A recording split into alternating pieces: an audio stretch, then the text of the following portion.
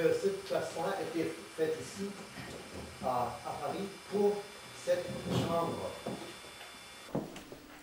Et si on pense que cette famille a compté avec ses membres, cet jeune garçon-là, dans la peinture, avec une viole de gambe, on doit euh, arriver à la conclusion que ce sont justement les chambres où cette espèce de musique se doit jouer.